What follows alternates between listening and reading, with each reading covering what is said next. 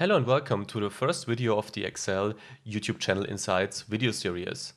Now in this video we will build the base for our upcoming analysis of this YouTube channel. So let's have a look at what kind of data we actually have, how we can import those data into a new Excel workbook and why we need an input summary sheet. Let's start. So this is our starting point. We have a more or less empty folder. The only thing that's in here are some source files. Let's first have a look at those source files and then we can start building the workbook. So I'm opening the source files folder now. In this folder we can see that we have three CSV files. These files contain the YouTube statistics that we want to analyze and we have another file named country codes text. We will have a look at that country codes text file in a few seconds. Let's first focus on the CSV files. If you look at the name of those files, you see that we cover the period from January 2016 until February 2017 in total. Let's now open one of the files to see what kind of statistics we actually have. So I'm opening the January file now. And you see that we have in the first two columns the country name and the country ID. So this is basically where you're coming from. And in the following columns, we have the statistics like watch time in minutes, views, likes, and so on. Now, let's focus on that country ID maybe. We just saw a file named country codes text, so we might connect this column with the country codes text file. Let's have a look at that. So I'm now opening the country codes text file and in the first column we see that CC, so that's basically the regional or the continent code of that country. In the second column, we have the A2 code, and this is the country code, and this is equal to the code that we saw in the CSV files. So we might remember that when we import the data, and it might make sense to only import the first two columns, but we will see how we can do that. So as we now understood the input files, and by the way, all CSV files have the same structure, so the only difference is really the period they cover, we can now go back to the YouTube folder and start building our workbook. So in the YouTube folder, I'm pressing the right mouse key, new, and Excel worksheet. Now let's name that maybe YouTube statistics. That's it. I'll now open the new file. And of course, we don't have any data in here so far. One note maybe before we start, I'm using the latest version of Microsoft Excel for this analysis. If you use an older version of Microsoft Excel, this is not a problem because all functions and formulas we will use are also covered by the older versions of Microsoft Excel. So now we want to import the data. And before we import the data, let's think about the amount of data we actually have. We saw that we have four input files, so it might make sense to create four new sheets in this workbook. And we can create a new sheet by simply pressing that little plus symbol down here. So one, two, three. This is it. So we will import our data into those four worksheets. And I'm now selecting the first worksheet. And now we can start importing the data. I will use the Excel integrated data import function. Why am I using this? Well, we saw that we have CSV and text files and that those files are really good structured. So this function is really appropriate for situations like that. Of course, we have other ways on how we can import data into Excel, but we will not use them right now. So to find the data import function, we have to go to the data ribbon, which sounds appropriate. And in the left area, we find the get external data button. If we press that button once, then we see that we have several options on where we can import data from. In our case, we will use the from text import function. So after pressing from text, I now have to select the folder where the source files are located. In my case, this is the desktop, YouTube, and the source files folder. Now I will select the first CSV file, and by first I mean the one from January to June 2016. So I click the file and press import. Now the text import wizard opens. Well, what is the text import wizard? The text import wizard basically helps Excel to understand the structure of your input data and helps you to define how your data should be imported into your Excel workbook. So the first thing you have to decide is whether you have delimited data or data with a fixed width. Hmm. Now you might be confused what kind of data you have. So the easiest way to find out what data you have is the preview of file you can see down here. And if we look into our data, we see that we have the country name, a comma, the country ID, a comma, and so on. So the delimited function is best used if you have characters such as commas, which is true in our case, or tabs to separate each field. As this is true in our case, we will use that function. If you would have a fixed width, well, this would be applied if you could simply draw a vertical line right here between each of the items you have in your columns. So this is not the case at the moment, so we will stick to the limited function. The second thing you have to decide is where you want to start importing your data. In our case, we will start importing in row 1 because this is where we have our header. The file origin is automatically set by Excel, so no need to change that. And the last thing we have to decide is whether our data has headers. In our case, and we saw that in the preview before, we have headers, so we can tick that box right here. Now we are finished with that step, so we can click next. And now we have to select the delimiter. At the moment, the tab delimiter is selected, which doesn't help a lot as we can see in the preview down here. So we need to unselect the tab and select the comma as a delimiter as we learned in the previous step because that's our delimiter that we have in the input data. And we can immediately see that now our data are formatted correctly, which means that we don't need the third step. Remember, we are in step 2 or 3 now, but we can already press finish at the moment. So I'll press finish now. And the only thing we have to decide now is where we want to import the data to. In our case, we will use the existing worksheet and cell A1, which is the one selected right here. So this is fine. This means we can press OK. And the data are immediately imported into our new Excel workbook. One important note maybe, at the moment we imported the data hard-coded. This means we don't have any link to the input data that we originally had. So we are almost done right here. The only thing we should do is we should rename the sheet according to the data it contains. And as we learned that all the data in the CSV files more or less cover the same statistics, but they are different in terms of the period they cover, it might make sense to name that sheet according to the period it covers. So I'll simply go down to the sheet name here, double click it, and write January to June 16. So that's the sheet name of the first sheet. Now that we're done with that, I will import the remaining two sheets for the remaining two periods, and then we will have a look at the import of the country codes text file. So see you in a few seconds. Now we imported the YouTube statistics and we can now go to the country codes text file. We will again use the data import function. So we go to the data ribbon, get external data, from text again, so everything like we did it before. Select the country codes text file, press import, keep the delimiter or the file type as delimited better said. The data has headers, which we can see right here. Now press next. And now we see in the data preview that the data are already organized correctly. And this is simply the case because these data, and this is what we saw when we had a look at the input files before, have a tab as delimiter.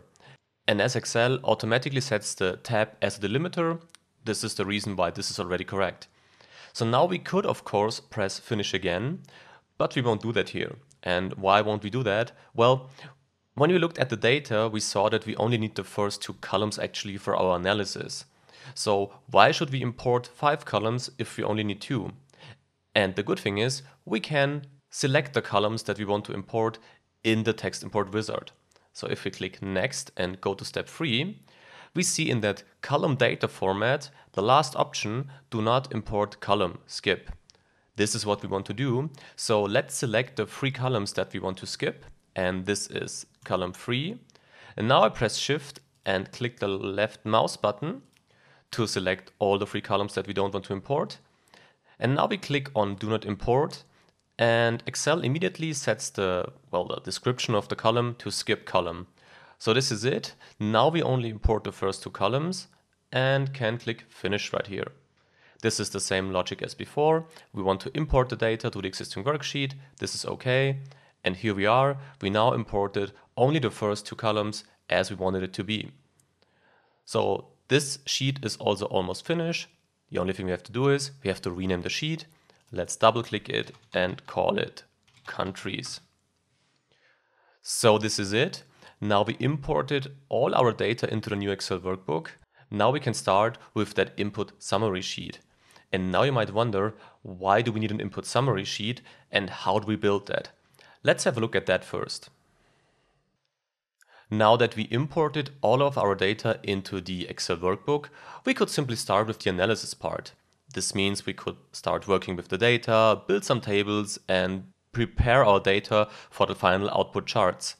And we could do that with direct links. So this means we directly link the analysis part to the input sheet. So if we need data from the sheet from January to June 2016, we simply retrieve data with a direct link to a cell in the corresponding sheet. Well, there is nothing wrong about that, and you could do that, but there is also another way on how you can work with input data like that and how you can connect those data to your analysis part of the workbook. And this is how we are going to do it. We will put the input summary sheet between the analysis part and the input sheets we just imported. And we will do that with dynamic sheet references to the source files. Now, why are we doing this? Well, the main advantage is that we have to put some work into that input summary sheet, of course, first. But as soon as the structure works, we can easily change the data. So we can delete periods, we can add periods, and we can link all those sheets. So this means we can link the analysis sheet to the input summary sheet and the input summary sheet to the input sheets dynamically. So we don't have to write any new formulas. We only need to copy existing tables and change the sheet reference. And this is really nice. And this is why we will build that input summary sheet now. Now that we talked about the why, you might wonder how we can build that input summary sheet. Let's have a look at that. So the first thing we need for the input summary sheet are the row names. So in our case, those are the countries. And this is a little bit more complex because we have three different periods and we need all the countries we have data for, of course, but without any duplicates. So it might be that we have countries like the United States, where we have data for in all three periods, and we might have countries which we only have data for in one of the three periods, for instance. So we need to make sure to include all of the countries we have without any duplicates. As soon as we got the row names, we need to define column names, so our statistics actually. This is more easy because, as we saw, all three CSV files have the same column names, so this should not be a problem. As soon as we got the row names and the column names, we will need a dynamic formula which allows us to retrieve the results based on those two items, so the country and the statistic that we want. As soon as we got the formula, we want to add one more thing. And this one more thing is the sheet reference as an input cell. Now, what does that mean? We simply want to be able to define the sheet name, and in our case, this is the period that we want, which will then define the source file where the results will be retrieved from. So in total, we want to be able to define the country, the statistic, and the period the data should be retrieved from. As soon as we build a table, we will copy the table once and twice, because we have three periods, so we need three tables. After we copy the tables, we simply have to adjust the sheet reference to July to December 16 for the second table and to January to February 17 for the third table, and then we are done with our input summary sheet. Now, as you can see, some work ahead of us, so let's start with the row names and the column names in this video series. So as we want to create an input summary sheet, we need to create a new sheet. And I'll simply press the plus again, Click and hold the left mouse button to drag the sheet to the left of the existing input sheets. Why am I putting it to the left? Well, this workbook will follow an input analysis output structure. And the output part will be to the left of the whole workbook so that you can see the results immediately after opening the workbook. And this is the reason why I also position the input summary sheet, which is not a pure input, but some adjusted input by us, to the left of the pure and unchanged input. Let me quickly name that sheet input summary. And now let's start with the column names. And if we look at the input files, we see that the column names are equal for all three input files. So we can simply select the first row in one of the files, press Ctrl Z, go back to the input summary sheet, and now press Ctrl Alt V. This will open the Paste Special menu. This is a really big help because the Paste Special menu helps you to exactly define how you want to paste the data you previously copied. In our case, we won't focus on formulas or values or formats. We will focus on the Paste Link button down here. Let me click the button to see what happens. So as you can see, we pasted the column names as we wanted it to be, but we also see that we pasted those column names with a link to the source file. And this is the great advantage of that paste link function. If you simply paste values hard-coded, so without any reference, you will never find out where this value came from if you have a bigger workbook. So sometimes, and also in this case actually, the paste link function might be better than pasting hard-coded values. Let's now just select all of the columns and press that little line between the last column we selected and the following column to increase the column width so that we can basically read all of the column names. So as we now got the column names, we now need the row names. You remember, we need a list of all of the countries we have statistics for without any duplicates. And we can simply do that by again using that paste link functionality and we will start in the first sheet, so January to June 2016. If we now select cell A2, so the first country, and now press Shift, Control and the down arrow key, now press Ctrl Z, go back to the input summary sheet into cell A2, and now again press Ctrl Alt and V, and paste link, we pasted the first set of countries. Now press Ctrl and the down key, and scroll a little bit down. And now we can select the second sheet, so July to December 16. Select cell A2, Shift all, uh, sorry, Shift Control and the down arrow key, Control Z, and back to the input summary sheet. Now into cell A203, Control Alt V, paste link, and Control and the down arrow key. I know it's kind of repetitive, but only one last time. And now we go to January to February 2017, cell A2, Shift, Control, and the down arrow key, Control Z, and paste that again with Control Alt V paste link. Now that's it. Now we got the linked list with all the countries, but of course with a lot of duplicates.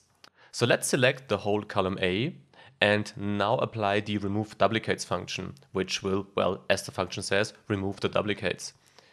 And we can find that function in the data ribbon, data tools and remove duplicates. Then Excel asks us if we want to expand the selection. Well, no, we don't want that because why would we do it here? Doesn't make sense. So we will continue with the current selection, press remove duplicates. We see that Excel selected the column A. This is the one we need. And we press OK. And now we see that Excel found a lot of duplicate values and only some unique values. Well, not some, it's 217, so a lot of countries, and by that, a lot of uh, users of that channel. So thanks a lot for that, by the way. So we press OK right here.